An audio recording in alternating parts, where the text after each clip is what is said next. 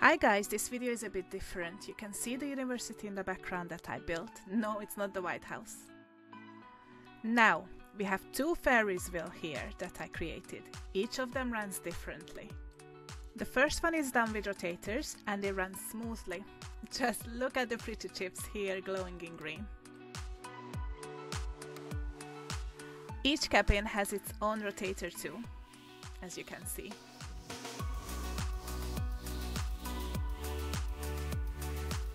The other one runs on an animation gizmo.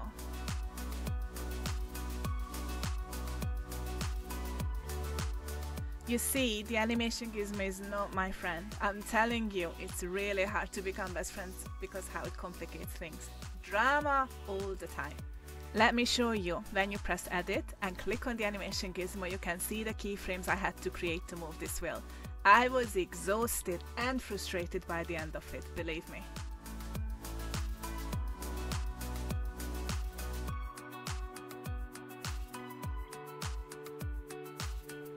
Did you see the glitch? And then guess what happened? After two hours of trying to make it work with the animation gizmo, here comes my friend Specialky asking why don't I do it with rotators and he did it within two minutes. I had mixed feelings after two hours of trying.